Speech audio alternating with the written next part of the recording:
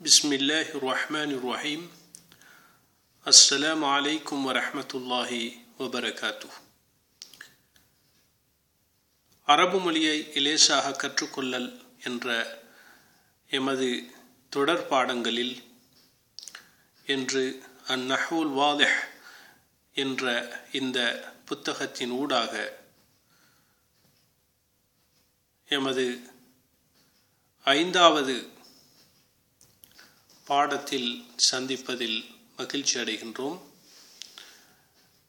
இங்கு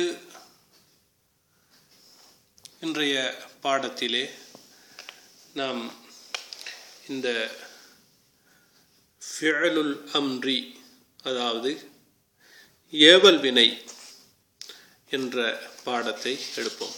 இதற்கு முந்தைய பாடங்களிலே அல் ஃபியலுல் மாதி இறந்த கால வினைச்சொல் என்பதை பார்த்தோம்.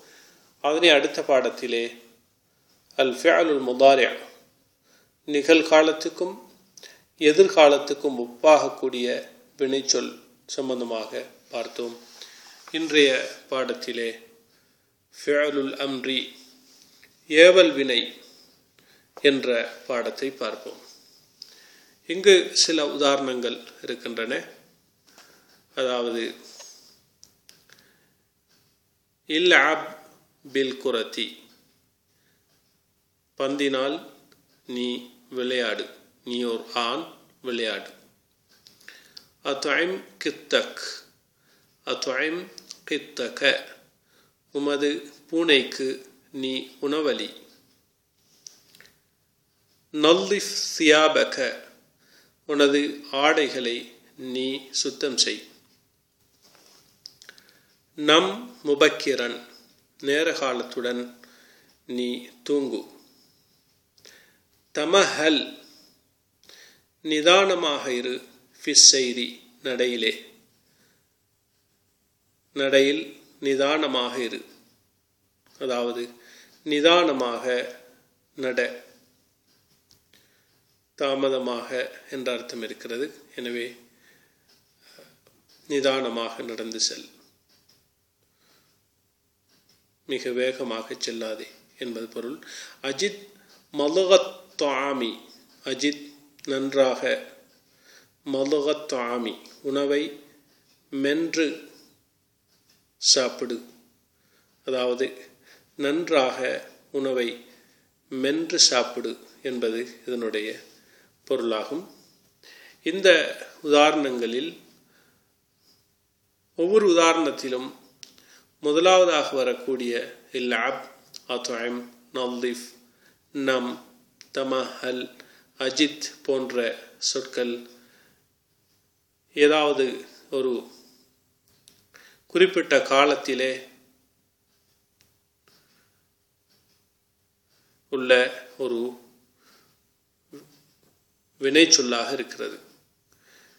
ஒரு குறிப்பிட்ட காலத்திலே ஒரு செயல் நடைபெறுவதை சுட்டிக்காட்டக்கூடிய வினை சொற்களாக இருக்கின்றன.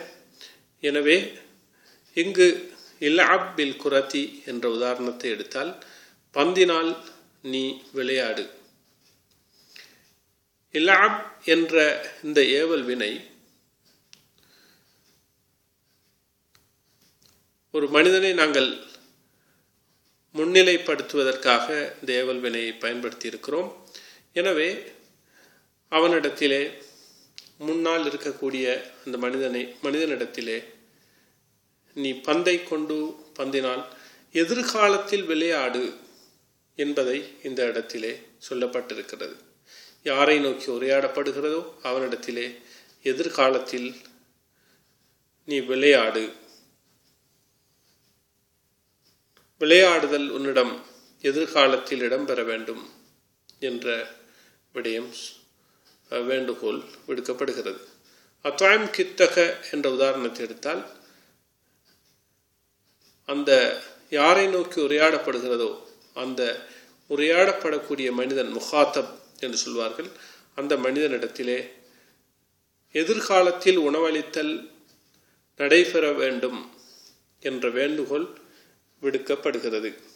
இவ்வாறு ஏனைய உதாரணங்களையும் நாங்கள் வைத்து பார்க்க முடியும்.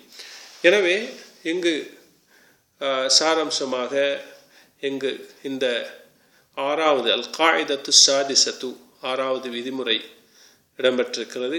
அதாவது ஃபியலுல் அம்ரி ஏவல் வினை என்பது ஹுவ அது குல்லு ஃபியலின் ஒவ்வொரு வினை சொல்லுமாகும் யுத்துலபு பிஹி அந்த வினை சொல்லினால் அந்த ஒவ்வொரு வினை சொல்லினால் வேண்டுகோள் விடுக்கப்படும் ஹசூல் ஷெயின் ஒரு வஸ்து உண்டாகுவது பிஸ்ஜமனில் ஜமனில் முஸ்தக்பலி எதிர்காலத்திலே ஒரு விடயம் நிகழ்வது உண்டாகுவது எந்த ஒவ்வொரு வினைச்சொல்லின் மூலமாகவும் வேண்டுகோள் விடுக்கப்படுமோ அந்த ஒவ்வொரு வினைச்சொல்லும்